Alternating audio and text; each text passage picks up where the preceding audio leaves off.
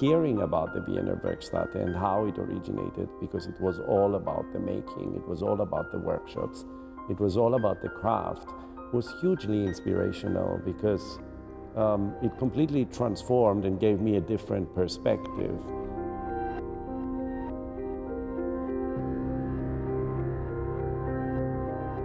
A sawing table. I'm particularly fascinated uh, with this object and the fact that you know this activity seems to not be relevant almost to, uh, to today. And, and what's interesting is um, the combination of all this kind of hard elements or hard materials together with the softness of what it holds on the inside. You know, the grid um, reference, which surrounds uh, this uh, fabric element on the inside, I think is, uh, is really particularly um, an interesting tension. I position this piece on spheres, an exaggerated element of something that could have been also the design of that time, because you can see the sphere element, whether it's a full sphere or a half a sphere, appearing um, in a lot of, of the furniture of the time. Usually they're much smaller. So the exaggeration of that creates this tension of instability. It's almost like this idea of a movable object. And then a little bit you know, further to the front, you see this gesture of this reflective surface, almost like a drop of mercury that um, seems to have ended up on the surface by accident. And I think this is a great addition, uh, you know, having the, the, the pieces, uh, the Lobmeyr pieces in there, I'd like to highlight what is happening over here, which I find particularly fascinating, starting from the tool box, the, the cabinet. Um, it's a complete uh, contrast to the finished objects that surround this piece, but it's actually what the whole um, spirit of the Wiener Werkstatt was all about, you know, the craft and the making, and this incredible collection of tools, you know, in the roughness, um, surrounded in the roughness of the box, very beautifully displayed. The, the big sphere in front of it, again, as a reference, uh, a glowing sphere to um, highlight uh, that particular object. The sphere is obviously part of this uh, oversized um, mobile uh, chandelier um, that creates that space and that relationship. It's somewhere right behind the cabinet is the um, shoes, these dress shoes, highlighting obviously uh, a code that was quite kind of formal because it was all about performance.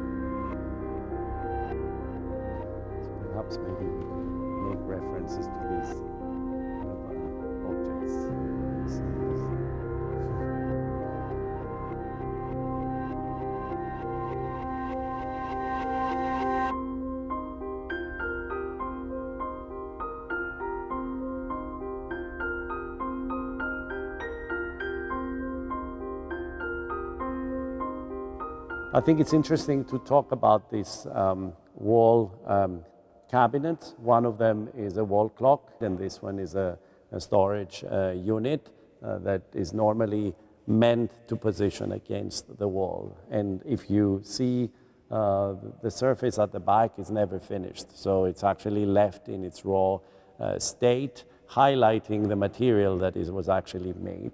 Um, it was only natural for me to dress these surfaces in mirror uh, to create that illusion effect um, and, and, and, and create that playfulness uh, between uh, the reflections of objects.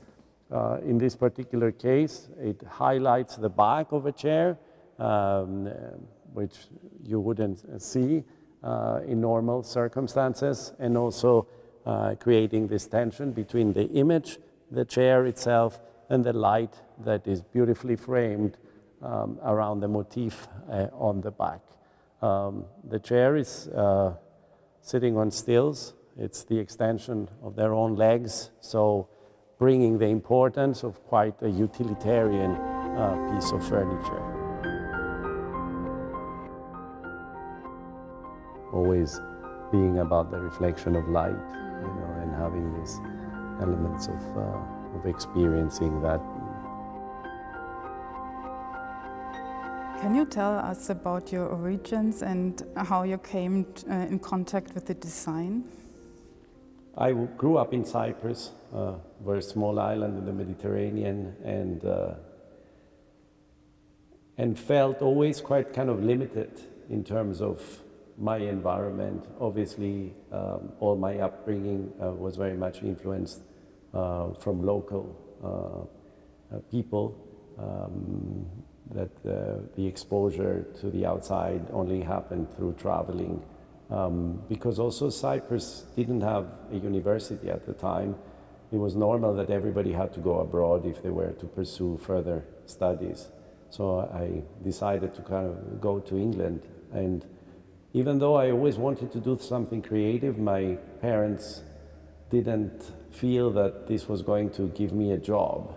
So I went and uh, studied engineering uh, at Imperial College of Science, Technology and Medicine, and then eventually uh, discovered uh, the Royal College of Art and uh, discovered design. And uh, after finishing my studies, I decided to continue further and, and study design. And this, this, is what really my first experience, other than really in terms of understanding what the um, academic meaning of design and how you could become a designer was. Much later on, I realized that probably this was not needed, and even mm -hmm. looking around in your immediate environment was more than enough to really understand where your uh, where design, the, the, design origins should be. But it was obviously an incredible exposure um, into the history of design, which was really important. Have you already dealt with the Wiener Werkstätte before this exhibition assignment? The Wiener Werkstätte has always been uh, uh, a very influential period uh, for um, my uh, design learning, my design education. Uh, what was interesting at the time when I was studying design at the Royal College, the normal um, of what was expected from designers after they would graduate is that they would work with different manufacturers and, um, and then sell their ideas and then eventually start working with them. But it wasn't so much focused on the actual craft and the actual making of it. And so suddenly hearing about the Wiener Werkstatt and how it originated, because it was all about the making, it was all about the workshops, it was all about the craft, was hugely inspirational because um, it completely transformed and gave me a different perspective.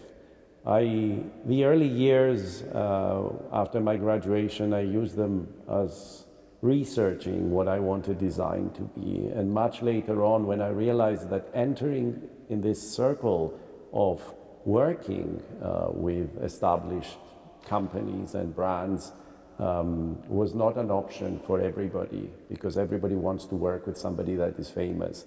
So at that time, being a student, you couldn't be famous. Uh, it, was, uh, it was impossible almost. So a few years later, I decided to, to, um, to start from the object itself. And I said, why am I waiting for this opportunity to come from somebody else to offer it to me? I need to do it myself. And so the Wiener Werkstatt was a great example because um, that, that's when I decided to uh, go into um, um, production of, um, of my own designs. And, um, uh, and that was the period also, the Wiener Werkstatt, when, when things started from the actual uh, craft of making. Wonderful. Um, yeah, and in what way did the Wiener Werkstätte affect your own work uh, precisely? you know, the, uh, I always identified myself as a modernist. Um, and I think it took quite a few years to really relate. But I, even though I loved uh, a lot of other um, influences, obviously, in design, but mm. I always went back to modernism because that's where the, the true beginning of design was. Um, and uh, therefore, you know, all these figures uh, from that period are hugely inspirational because um, the, um, the, the, the, source comes from reduction, you know, mm-hmm. reducing down to the, uh, the bare elements and the essentials, really. It's very structured, it's very disciplined, and it appeals greatly to me. Mm-hmm. Yeah, um, the Wiener Werkstätte was strongly influenced by arts and crafts, uh, as well as the Glasgow Four. Do these Art Nouveau trends um, matter in your work also? Mm -hmm.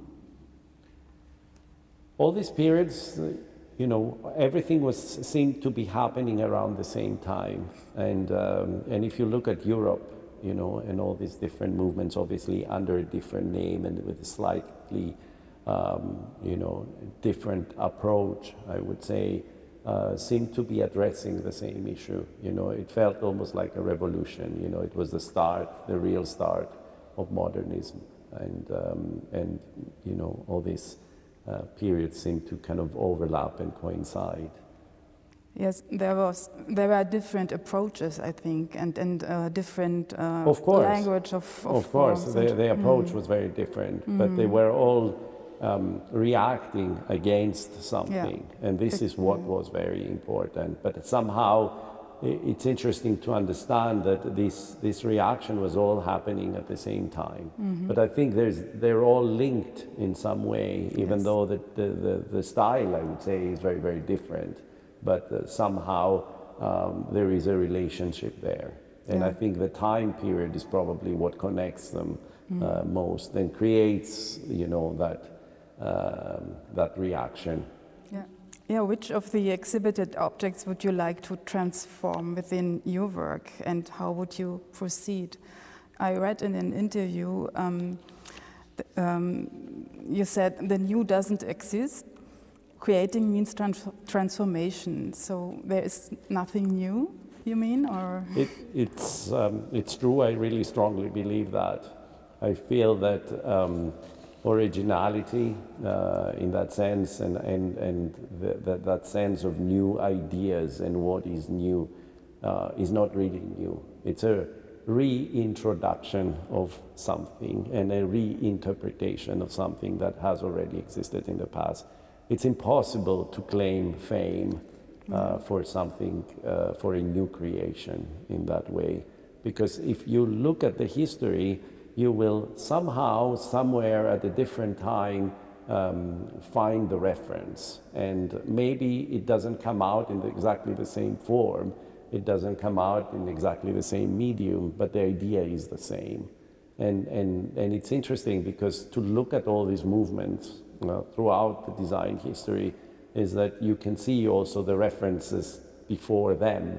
So even the Wiener Werkstätte was not um, you know, of course it was revolutionary in terms of what, what it was doing, but somehow the ideas existed in yes. the past. And, yeah. and even these, the, their creators uh, um, borrowed these ideas and reinterpreted yeah. them mm. in that way. So uh, going back to your question, the choice would be really very difficult. I mean, I'm overwhelmed by the beauty, I'm overwhelmed by the excitement of these pieces, but one particular um, family, I think, of objects would be the grid objects. Mm-hmm. Uh, because um, I love the um, uh, obsessiveness, you know, how obsessive and, and that language, that vocabulary translated into all these objects.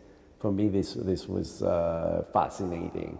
So, and it feels that there's so much more you could say with them. So I would love to uh, be able to contribute uh, to this family if I had the opportunity, because there seems to be a, a, almost like a system um, that yes. somehow gets translated and, and interpreted in, in so many different ways, and, and, and it feels that there's so many other opportunities. It's almost like a um, uh, that they are derived from a mathematical formula, that they are not really um, just spontaneous creative pieces. There seems to be that there is a certain structure, a certain methodology, and, and, and a sequence that you follow, almost like a mathematical sequence And, uh, and this is why I find the grid objects uh, particularly fascinating.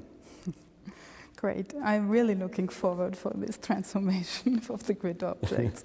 I hope I have the opportunity. yeah, yeah. I have to find the, the grid um, as a Yeah, material, as a starting point. Mhm. But uh, it's, uh, they're, they're all be very, very beautiful. Yeah. And it's, um, it's incredible to see them. And obviously, um, uh, you know, every time I discover a new one, I, um, you know, it makes me smile Mhm. because I can almost position it somewhere within that formula. Yeah. So um, you are working together with Art Nouveau traditional companies like Lobmeyr and Thonet. You are sitting on your uh, design for Thonet Vienna. Um, how can we depict uh, these collaborations? Um, are they approaching you uh, with certain ideas or? Um, I always felt very, very drawn by uh, from history. So for me, the idea that these companies actually exist today is um, what uh, you know uh, makes me really excited. You know, the uh, ability to even tap into that history. You know, had the Wiener Werkstatt exist today, and I would have loved to be uh, part of it. And it's interesting because these companies carry almost that uh, that that tradition uh, to today. I mean, with the presence of uh, the reissuing of all these historical pieces, which are very much relevant even today. You know that they they still look so beautiful and so contemporary Yeah. in their own way. So um, th- this opportunity to uh, to be invited to be part um, of the, their um, designers um, is, is really um, a, great privilege. And both Thonet and also um, Lobmeyr uh, have given me that, uh, that opportunity. It's, it's important to really understand their history and their positioning um, through that period. And, and this is what's really fascinating and I think is a, um, an, an exciting opportunity to be able to, to tap into that history and also uh, learn uh, very much about their real craft and, and, and where the core um, of these uh, companies and how they were, um, um, how they originated, how they were structured. And um, how was the contact? Uh, they ask you to, to design They, anything? um, it's a flirting game. You know, you. Um, I always felt very attracted to these uh, companies. You know, the idea that, as I said, exist they existed uh, still today was almost like um, an impossibility for me because I thought that I would uh, I would dream to be able to uh, be given that opportunity. As I was saying to you, uh, unfortunately, um, it's very difficult to make that step. And who makes the step first? Usually, it's a flirting game, so that you have to start and initiate with these companies. And, and, and this is what very much happened. I met Leonid, uh, the owner of Lobmeyr, at a dinner um, in New York in uh,